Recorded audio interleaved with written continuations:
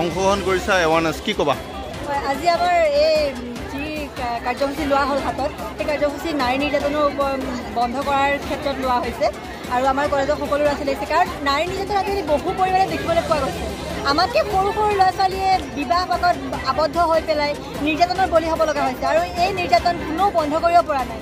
গতিকে আমি এটা সুন্দৰ মানে প্ৰচেষ্টা মাত্ৰ সৰু এটা ক্ষুদ্ৰ প্ৰচেষ্টা কৰিছোঁ যে নাৰী নিৰ্যাতন বন্ধ হওক আৰু আমাৰ আমাৰ সমনীয়া ছাত্ৰ ছাত্ৰীয়ে ছাত্ৰই হওক বা ছাত্ৰীয়ে হওক সকলোৱে যাতে সমান অধিকাৰ পায় আৰু নিৰ- নিৰ্যাতনৰ বলি নহৈ পেলাই নিজৰ জীৱনটো সুন্দৰভাৱে গঢ় লৈ উঠাত সহায় কৰে।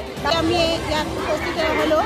নাৰীৰ মহিলাসকলক সুৰক্ষিত কৰা নাই আমাৰ মহিলাসকল সুৰক্ষিত নোহোৱাৰ কাৰণে বহুত জেগাতে ছাত্ৰীসকলক মহিলাসকলক ধৰ্ষণ কৰি মাৰি পেলাইছে। গতিকে আমাৰ মহিলাসকলক যদি আমি সুৰক্ষিত নিজে দিব নোৱাৰোঁ বা চৰকাৰখনে দিব নোৱাৰে বা আমাৰ নিজৰ ভিতৰতে যদি আমি সুৰক্ষিত নহওঁ তেতিয়াহ'লে আমি কেনেকৈ আমি আগবাঢ়ি যাম বা কেনেকৈ কিবা এটা কাম কৰিম এতিয়া আমাৰ মহিলাসকল কোনো ধৰণৰ তলত পিছ পৰি থকা মানুহ নহয়। গতিকে মহিলাসকলক আগবাঢ়ি যাবলৈ আগতে আগবাঢ়ি যোৱাৰ আগতে মহিলাসকলক কমচে কম সুৰক্ষিত দিব লাগিব। যদি আমাৰ মহিলাসকলক সুৰক্ষিত নিদিয়ে তেতিয়াহ'লে আমি এই অসমতে আমাৰ মহিলাসকলে এই অসমতে আমাৰ মৃত্যুবৰণ কৰিবলৈ বাধ্য হ'ব। এইটো এৱাৰনেছ কৰিছা আপোনালোকে? হয় আমি এতিয়া এৱাৰনেছ কৰিছোঁ। যাতে আমাৰ এই এৱাৰনেছটোৰ পৰা মহিলাসকল সুৰক্ষিত হৈ থাকিব পাৰে। সেইটো কাৰণে আজি আমাৰ এৱাৰনেছ কৰা হ'ল।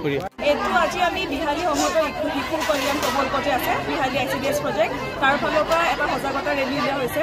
এই ৰেলীৰ উদ্দেশ্য হ'ল যে যি মহিলা আৰু শিশু কন্যাৰ ওপৰত যি কন্যা শিশুৰ ওপৰত যি নিৰ্যাতন চলে যি মানসিক বা শাৰীৰিক আপোনাৰ বা অত্যাচাৰ তাৰ বিৰুদ্ধে যাতে আমি মাত মাতি উঠোঁ সেই তাৰে সেই উদ্দেশ্যৰে আমি আজি ওলাই আহিছোঁ। আজি কোন কোন আছে? আপোনালোকৰ সহযোগ কোনে কোনে কৰিছে?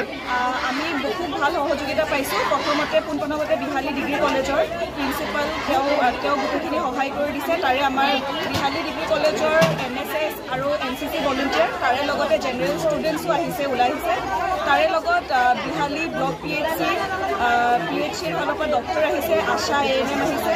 তাৰে লগতে বিহালী খণ্ড উন্নয়ন অফিচৰ ফালৰ পৰা ইঞ্জিনিয়াৰ তাৰে লগতে ষ্টাফো আমাক সহযোগিতা দিছে।